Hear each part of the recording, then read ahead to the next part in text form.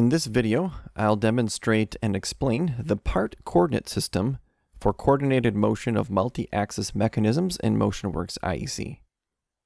Hi, I'm Matt Pelletier. Here's a quick preview. A part coordinate system, or PCS, is a coordinate frame that exists in a convenient location on the part. Use PCS as the coord system input of the MC move blocks and assign the vector position relative to the origin of the part. The origin of the part is simply a vector offset from the origin of the machine. Use the frame type transform block to calculate this offset by recording three points on the part. And use Y group set frame offset to activate the offset on the mechanism. Now let's look at this in more detail. The position of a multi-axis mechanism can be defined with different coordinate systems. The focus of this video is on the part coordinate system, abbreviated PCS.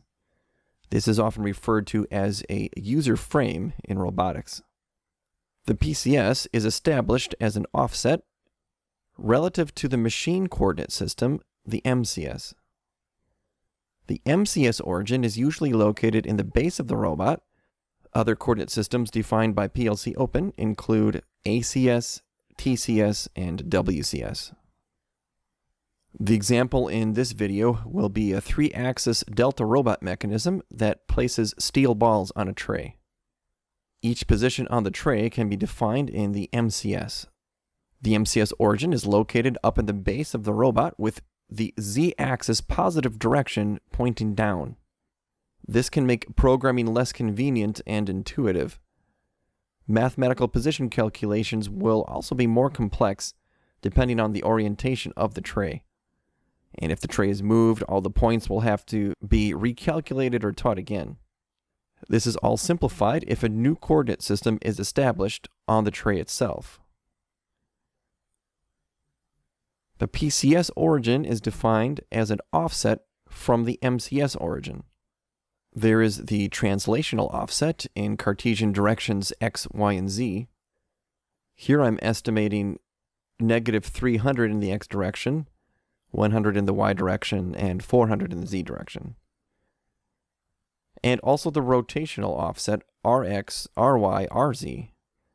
In this example, 180 degrees of rotation about the x-axis points the z-axis up instead of down, and 120 degrees of rotation about the z-axis to point the x-axis in the required direction.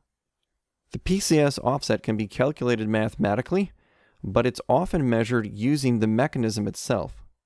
With PCS moves, the tray can be oriented in any position or angle of inclination. All recorded points follow that PCS offset. You could even use a vision system to automatically detect the position of the tray in order to recalculate the offset in MotionWorks IEC. Likewise, there could be several trays with several offsets, each using the same positioning sequence. The Delta robot could even be replaced by another mechanism, such as a Scara robot, a six-axis articulated robot, or even a mechanism with custom kinematics. A different mechanism will have a different MCS origin, but once you determine the new PCS offset, that move sequence can stay the same. Now let's look at this Delta robot example in real life. The robot picks and places steel balls between a linear formation and a square formation. And I have the MotionWorks IEC project open here to monitor. The natural home position of the mechanism is when each axis is at 0 degrees with the arm horizontal. And you can see that the axis position right now is 0. You can also see the MCS, the machine actual position, is at 0 for the x and y coordinates, but it's around positive 487 for the z coordinate. This is because the MCS origin is up in the middle of the base of the robot. Currently, the positions are programmed using the MCS coordinate system, and a different POU sequentially feeds the vector positions from these arrays named square points and line points, and repeatedly executes this move block. I'll look at a few of these points here. point number one, number two, number three, and number four. It is not convenient or simple to calculate these positions unless the tray is aligned with the MCS coordinates as it is now. The robot base had to be carefully adjusted to be parallel to the tray. With PCS, I will be able to reposition the tray to any arbitrary orientation, even at an angle of inclination. For convenience, I would like to program with the origin at the hole in the bottom left corner, the plus x direction to the right, the plus y direction away, and the plus z direction up. And move the four balls from a linear formation on the x-axis to a nearby square formation. The process to make this happen involves two important function blocks. Frame type transform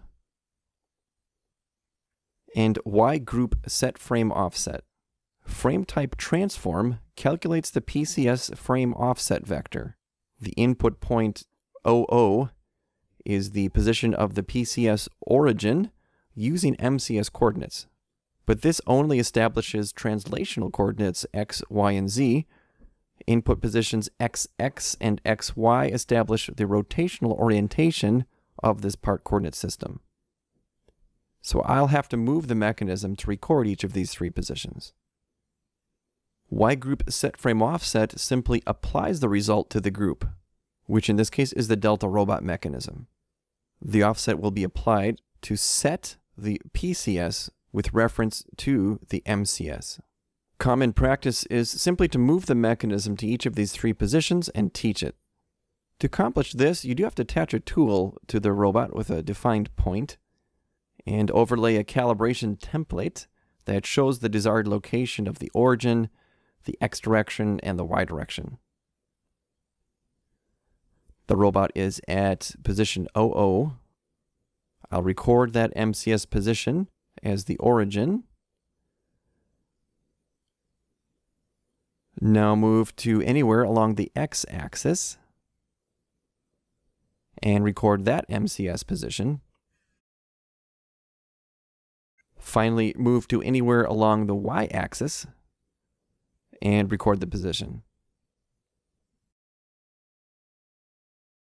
And that's it, so remove the pointing tool and the calibration template. Now on to the frame type transform block. Execute the block and here's the result. This block uses the vector array data type, which supports up to 32 degrees of freedom. The first three elements are the x, y, and z translational components, and the second three are the rx, ry, rz rotational components. A simple function block converts this to the MC Cartesian ref structure data type used by Y group set frame offset. Execute this block and you'll see what happens to the offset. That part offset is applied to the delta group. Now I'll run the machine with PCS as the input to the MC move linear block.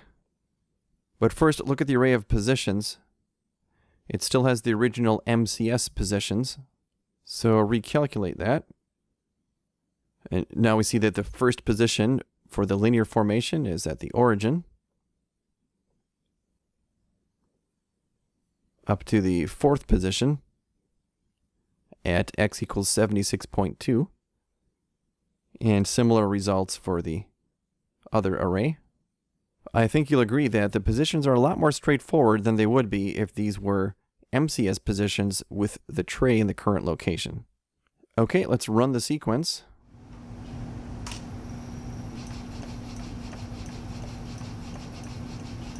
And there you have it. You can see the sequence of positions right here. And under the group, we can watch the actual position and compare that to the machine coordinate positions.